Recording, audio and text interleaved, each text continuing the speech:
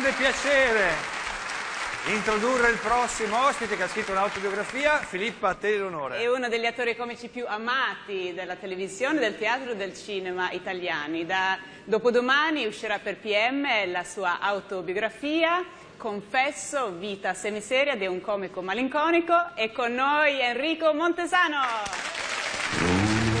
non fa subire stasera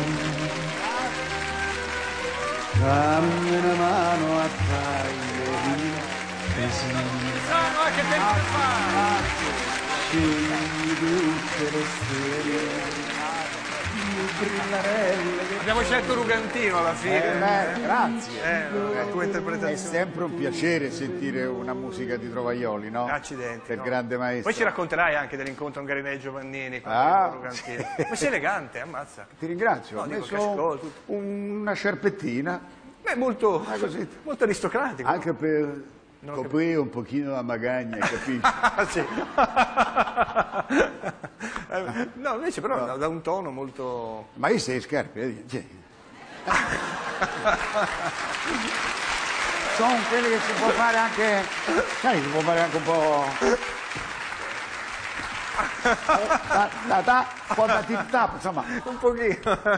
allora, scherziamo. allora ben- bentornata a Milano intanto da una città che tu, tu hai, dove hai vissuto tantissimo, dove hai lavorato Io- tanto. Nel libro, infatti, lo Eh? confesso. Ah, Eccolo qua, Ah, aspetta, confesso, PM esce, esce dopo domani. Eccolo Sì, qua. PM sono stati carini, mi hanno chiesto questa cosa anche attraverso un amico Stefano Genovese. Che Vita regista- semiseria di un comico malinconico. Sì, io poi ho aggiunto liberamente tratta dalla mia vita, un'autobiografia Cioè te lo sei liberamente- detto da solo. Sì, perché non è che proprio so fedele, capito? Ehm, Allora- No, dicevo che nel libro lo dico che Milano, Milano. è la mia città padre, Sì, Roma, città perché Roma è madre. la città madre. E mi ricordo che dopo che facemmo con Pietro Garinei Bravo, Come no? eh, mi ricordo venne Pietro Garinei e mi disse Enrico, molto serio, dice, adesso dobbiamo andare a Milano, come dire, e lì, E lì devi spugna. vincere eh, la La battaglia. battaglia. Allora- Però devo dire che fui accolto molto bene. E al teatro lirico, poi vennero degli amici miei milanesi, mi dissero, mi dettero un quadruccio che ancora conservo. Grazie a nome dei 100.000 milanesi che sono venuti a vederti. Trionfo, fu un trionfo, bravo. Andò un molto bene. In una libreria, quando andai a comprare un libro, un signore mi riconobbe, un signore milanese, parliamo di qualche anno fa, eh? Sì. Negli anni Ottanta, mi dice, guarda Montessano, bravo questo qui, eh? Bravo. Pensa, da solo in palcoscenico tre ore, lavoratore, eh? A Cottimo. allora, vorrei vedere insieme a voi queste brevi ma intense immagini di Enrico Montesano, così per, per- per divertirci tutti insieme a lui. Guardiamole. Chi è? Perché chi vuole essere lieto lo sia, presente un signore che è tutto allegria, Enrico Montesano.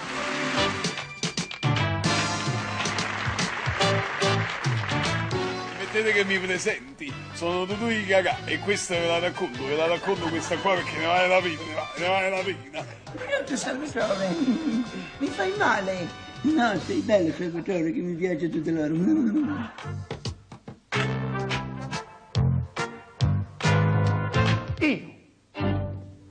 Rugantino, che quando con una donna ci sono stato l'ho sempre raccontato particolareggiato. Pensionati di tutto il mondo, unitevi! E poi finalmente c'è il dito alla break, che come lo punti in faccia al pubblico già sei in atmosfera. Gentili signore e signori, l'ospite di questa settimana è io. Avremmo potuto farne milioni di filmati. Oh, ho scoperto che hai, hai avuto anche un, un nome d'arte, non lo sapevo. Ma un nome impensabile. Ma, ma non so perché, mi- all'epoca andava di moda e mi chiamarono Henry Monzano. Io volevo perdere la S, da sconosciuto diventare conosciuto, invece persi il te. Il te. Henry, ma sarebbe? ma perché Henry? Non lo so, a te lo chiedevo, però. Non lo so, io infatti ho detto, ma posso cambiare sto nome? Dice, ma che vuoi? È il mio.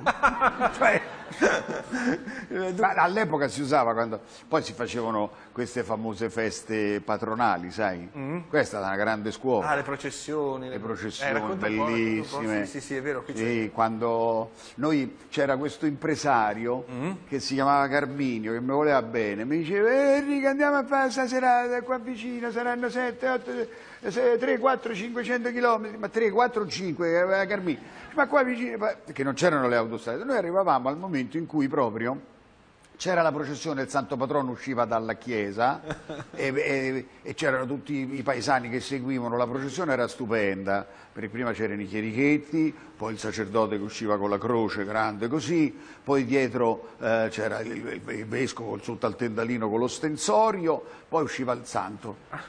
un po' traballante. Portato a spalla. È bellissimo, questi santi improbabili, capito? Questo teneva una- un segno distintivo della sua specializzazione tra le dita. Era una pallina, era santurologo, era un calcolo. Allora tu lo pregavi e lui deliberava. Poi appresso le piedonne, di là racconta un po' questa cosa delle piedonne che cantano e ci mettono mezz'ora per fare due metri Eh perché non mi devo alzare un attimo Sì, perché prego. non camminano dritto per dritto no? certo. dietro al santo no? loro camminano un po' si mettono così e vanno un po' di sguincio così di là e cantano anch'io festevole coro ai tuoi miei e c'è ah, poi, poi parlano inframezzano quei commenti Oh, Santa, ve- hai visto, hai visto Giuseppina si è fatta la permanente? Quando è brutta, guarda, e si fanno i commenti, insomma. Era un mondo, guarda, bello, eh?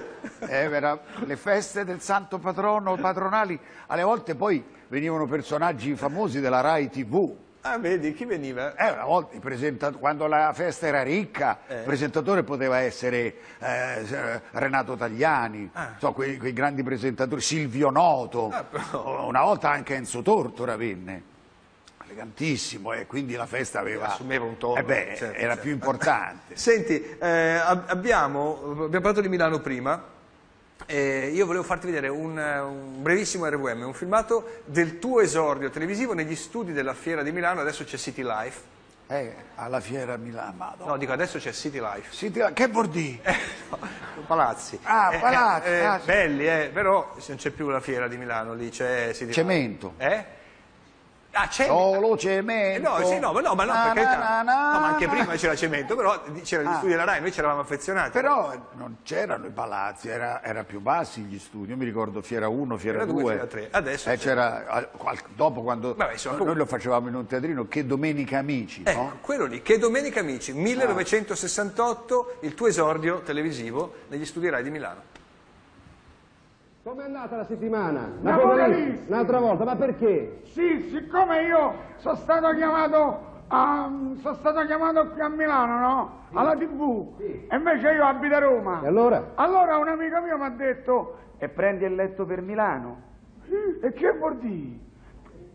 Sali sul letto a mezzanotte precisa e la mattina dopo, alle 8.12, stai a Milano fresco e riposato.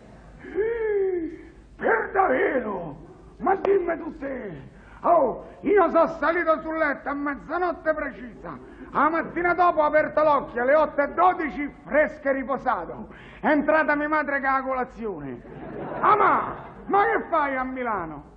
Ma quale Milano, figlio mio? Stiamo a Roma, magna, magna, che te passa? Che dico io? Eh, ragazzi, una volta. C'era anche una, una bellissima ingenuità, no? In quei testi, in quel modo di, di, di far ridere. Era una trasmissione, pensa, che andava in onda la domenica pomeriggio prima eh, di eh, novantesimo minuto, cioè prima di tutto il calcio, Sì, novantesimo minuto. prima dei gol. Sì, nov- novantesimo minuto. Eh, eh, non mi ricordo come si chiamava, però quindi era... eh, tutti si concentravano là, aveva ascolti bulgari, c'era una rete solo in bianco e nero. eh, gente- I padri volevano vedere i gol, le mamme volevano vedere la trasmissione. Non si poteva fare altro. eh, c'è un film, poi, tu hai fatto anche tanto tanto cinema, no? Nella tua carriera. Per un periodo sì, Eh, parecchio. Parecchio, parecchio, parecchio, che è entrato nel- proprio nella storia del cinema italiano, che è Febbre da cavallo. Eh sì, quello là è- è- è un- non pensavamo noi quando l'abbiamo fatto che poi avesse nel tempo, quando uscì andò bene, abbastanza bene, ma non... Poi dopo invece è successa una cosa stranissima, quasi un miracolo. Sì, ancora adesso poi, cioè, ogni volta viene ripeto, uno di quei classici che vengono visti e rivisti per vedere anche proprio sempre le stesse scene, per potersi... Eh, hanno proprio un gruppo di fedelissimi. Sì, per poterle ritrovare e io volevo mostrarne una per l'appunto, da, da Febbre da cavallo, 1976, pensa un po'. Macelleria Rinaldi, chi parla? Pronto? Pronto? Eh sì? Sono la governante del Conte di Simone, largo Arenula 2. Eh, vorremmo un etto di carne, un etto di carne, un etto di carne! Un chilo, che metto? Un chilo? Un chilo di carne di vitella, mm, decente. Decente. Modestamente ho della carne che sembra viva per quanto è fresca. Vuole ripetere il suo indirizzo che mando mio figlio? Conte di Simone, largo 2. Grazie, buongiorno. Ah, pronto? Non dimenticavo. Ehm, dia a suo figlio il resto di 100.000 lire, perché non abbiamo moneta spicciola in casa. Sia tranquilla, sarà fatto. Grazie, l'aspetto, buongiorno. La bevuta? Ma vaffanculo, mamma.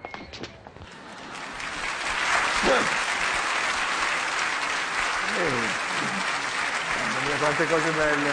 Eh, beh, quello... eh, si andava con il regista Steno nelle vecchie sale corse, che adesso non ci stanno più, ci sono le sale dove si scommette su tutto. Prima invece erano solo quelli che amavano giocare e vedere i cavalli, no? E c'era quello che eh, con Steno parlavamo con i giocatori e disse a uno, ma tu perché vieni sempre qui a giocare tutte le sere? Gli diceva Steno, ma i soldi che spendi, ma tua moglie non ti dice niente, dice, ah dottore, gli disse sto romano piccoletto, dice, a me è il substrato coscienziale che mi spinge. Disse sta, sta frase che il substrato coscienziale è quello che spinge il giocatore incallito a giocare. Leggendo Confesso di Enrico Montesano poi si imparano delle cose, beh, personalmente non le sapevo, per, per esempio eh, hai sei figli. Sì. Cioè, Vabbè, ma mica... No, mica ancora due sono come la famiglia Bradford. Siete sì. otto. Cioè, dico, Sei più due perché insomma, però sei sono quelli proprio diretti. però meglio sei figli che sei avvisi di garanzia, no? No, quello- Ma te li ricordi tutti i nomi? Sì, sì, certo. Ah sì, eh? È che difficile. Sì, sono Tommaso, Oliver, Lavinia, Mattia, Michele, Enrico no. e Marco Valerio. No. Uno sbagliato. Rifacciamo. Perché? No, dico, ci provavo a vedere se... No, no, Tommaso. no, no, no, li sai, li sai. No, no. Ma hai fregato, ma io lì per lì ho detto Dio, avresti sbagliato con... Poi, Un attimo, un dubbio me l'hai messo. poi ho scoperto una cosa, eh, non so se ve lo sapevate, eh, cioè Enrico Montesano è, è alpinista, cosa che a me piace moltissimo, ma no, ma non solo Ieri alpinista. sera ho visto la puntata che hai fatto e mi è venuta una voglia. Di andare in Hai fatto venire una voglia. Eh, vai di nuovo, ma no, ma soprattutto alpinista è un modo, eh, non è detta così. Non sono. Beh, insomma, Amo a, diciamo a così, fare è le successo- passeggiate qualche arrampicata. Racconti che nella vita ti è successa una cosa per la quale io avrei dato non sai cosa, cioè lui ha arrampicato con quello che è il mito della mia esistenza, Sì. cioè Walter Bonatti. Che, che è stato qui tante volte ospite, che è una persona, ogni volta che la ricordo mi commuovo, guarda. E, e qui tu ar- arrampichi. Walter, eh, hai detto bene, era una persona affascinante prima di tutto, sentirlo raccontare, no? Come era carino, come era bello, eh, era proprio bello. Eh, bello dentro, bello fuori, era proprio affascinante. Io feci un film con Rossana Podestà, che era Pane, burro e marmellata. Compagna di, un- di, di Senna, Era di la Walter, compagna di Walter Walter. Bonatti. Andai a trovarlo una volta in una casetta che loro avevano all'Argentario. Sì. E Walter mi disse, Rossana mi dissero, vogliamo andare al mare? Eh, detto, certo, andiamo. certo. E si misero gli scarponi da montagna. Ho detto, ma come andiamo al mare? "Eh, no, perché noi, siccome roccia. poi c'è la roccia a picco sul mare, loro scendevano con la corda e i ganci facevano una discesa della roccia fino alla- al bagnasciuga, al mare, Poi si e io toglievano- appresso a loro. poi si toglievano- toglievano gli scarponi ma- pinne. e c'avevano il costume sotto. E così per risalire ci si arrampicava. Poi lui mi porta in una, in una roccia un bel seno, lo chiamava lui, di granito di fronte, dice guarda andiamo, ci divertiamo, ci sgranchiamo un pochetto, come palestra. Da quel momento mi sono appassionato, sono andato poi, eh, io sono con gli scoiattoli a Cortina ho cominciato, Le la palestra è le, le Cinque Torri, Beh, e poi... un vero, un vero alpinista. Eh, sì, poi una volta Walter, su mio invito e con una certa insistenza, venne con Rossana e disse andiamo a fare insieme una scalatina. E lui mi portò sul becco di Mezzodì, che è una bellissima montagna che si vede a Cortina, però eh, camminammo, per, eh, arrivavamo, poi un- un'oretta a piedi, lui si mette sotto sta parete, dico dove andiamo? Guarda, lui guarda un vecchio libro d'alpinismo con le pagine staccate, sai, quelli rilegati che si staccano le pagine, eh? gira e dice no, andiamo da questa parete qua, che sono 30 anni che non la fa nessuno. Dico, Ci sarà un motivo. sei sicuro? Ma... Io zitto perché sto col più grande esploratore e scalatore del mondo, quello che ha scalato il K2, voglio dire, che gli Eh, devi no. E allora andiamo, dice sì, ogni tanto però la via era aperta, come si dice in gergo, e tu lo sai meglio di me, Vuol no? dire che si va da quella parte là. Sì, qualcuno già è andato prima di te, però ogni tanto qualche gancio mancava e Walter Bonatti ping ping pong, si legava e mi chiamava Enrico dai vieni su, che sai quando il tuo maestro scompare tu sei solo in quel momento e la via un po' te la devi cercare da te anche se sei, come dicevate ieri, in sicurezza, no? come dicevate ieri sera. Quindi arrivavo su, andiamo su, andiamo su, andiamo- siamo arrivati su molto bene Walter mi ha dato la pacca sulla spalla, mi ha dato la mano, come si fa? In cima. Giù, no. No, io sono quasi svenuto. No, ma mo Pierbello, dobbiamo scendere. Allora lui dice scendiamo di qua, però non c'è bisogno della corda doppia, riscendiamo così. Arriva un temporale. Allora, sai, dice, no, non avere timore, mi dice lui. "Oh, Se me lo dici te, Walter, io... E stavo così. Quando piove in montagna con la roccia, l'acqua entra dentro. Diceva tutto bene, sì, mi sto a fare quasi il bidet, Walter, non la faccio più. Hai capito? L'acqua mi entrava dappertutto. Allora, i libri sono utili e piacevoli per chi li legge, ma in questo caso anche per chi li scrive, nel senso che Enrico Montesano, se vuoi puoi approfittare anche della trasmissione, eh, libro utile perché a pagina 191 metti in vendita la tua amata Harley Davidson, quindi se tu vuoi fare l'annuncio... Sì, perché ormai col mal di schiena è vecchia però, eh, c'ha 20 anni. Eh, quindi C'ha 21 vendesi Harley Davidson, telefonare a... Eh, sì, te- gli do il numero 06 844. Passo. Enrico Montesano, grazie. Confesso, PM Editore, alla prossima. L'abbraccio. Ciao, alla prossima, grazie. Lu-